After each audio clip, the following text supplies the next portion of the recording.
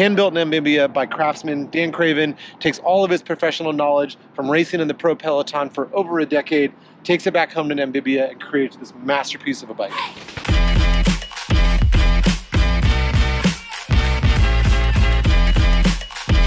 Hey, what's up? Chaz here. We're in Portland, Oregon, and we're gonna check out the Made Bicycle Show. Specifically, we're gonna check out Dan Craven's bike brand, Onguza, at the Made Bicycle Show. They're handmade in Namibia. Dan is a multiple time Olympian, pro tour rider who now goes back to his home country of Namibia to build steel bikes. So let's go find Dan and Onguza bikes and see what makes them faster.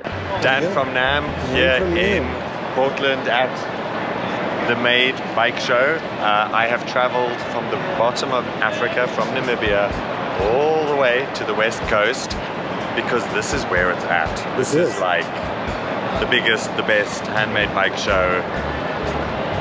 Hands down. Well, wait, you you did a little tour, right? This wasn't the first stop. You hit a number of other cities. You've been out here for a little bit, spreading It the good word. it wasn't really little. It was it was kind of big. Landed in New York. Yeah. Did a charity ride that raised more than twelve million dollars. Wait, million, million dollars? Twelve Million. million dollars. All right, not a bad start to the tour. Those guys were amazing. I snuck away with the gravel, one of the pre-production gravel bikes for the Onguza bikes. And this is not necessarily the one that they're producing right now, but they have done through so many iterations of this that this is basically the production model. I want to do a quick run through of this fantastic machine. Obviously, hand mitered, hand welded steel tubes built in Namibia by the finest craftsmen. Obviously, we've got the Zipp 303 Firecrest for the wheel. And that is the epitome of speed for this. It's a fast wheel, it's light, but it's super strong, can handle any of the roads you throw at it. It's got a nice wide rim bed. It's got these Ultra Dynamico by 700 by 42C tires that I got some calipers out and measured almost 700 by 45 because the wide rim bed spreads the tires out. That hookless technology gives you a super supple ride condition, helps eliminate flats, keeps more rubber to the road. Shifting wise, keeping it simple, we've got the one by four screw. Looks like the Explorer set up right now, so they're running a 10 by 44 cassette and a 40 tooth front chainring. I am from the bottom of Africa, Namibia, right next to South Africa. Ex-professional cyclist. I've done professional races in more than 40 countries around the world, and the more I traveled, the more I realized where I came from was really, really special. And all of the people back home, they're just really good with their hands. You know, some people can, and some people just, they kind of fall over themselves.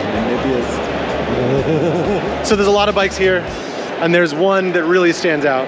What is the inspiration besides the paint job? It's not only on one bike, it's kind of a theme with Exactly. Onguza bikes.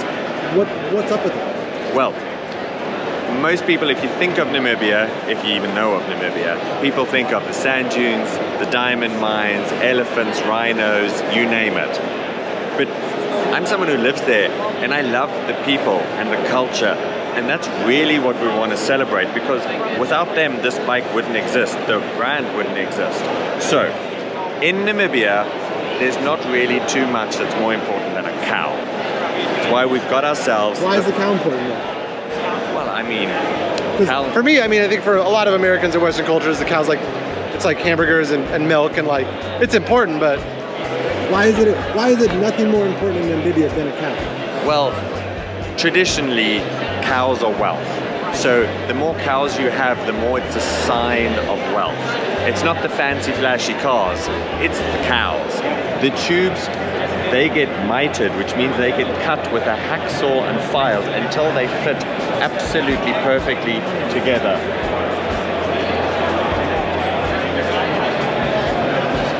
Here we go. Now take a look at this. This is hand done. This is cut with a hacksaw and files. And look how that fits on there. Look at this. This is where the dropout slots in. So this piece, it goes right there, like that. And again, look at these perfect angle slots. That's basically four cuts. This thing is cut with a hacksaw and a file. I mean, I can't do that, but my guys back in Namibia do it every time spot on. And it's just like, That's how good they are. All right, we just got hanging out at Made Bikes with Dan Craven and checking out his bike brand Onguza, handmade in Namibia. Make sure to like, make sure to subscribe, make sure to check out Dan and Onguza Bikes. For now, this is Chaz and Dan in there, making you faster.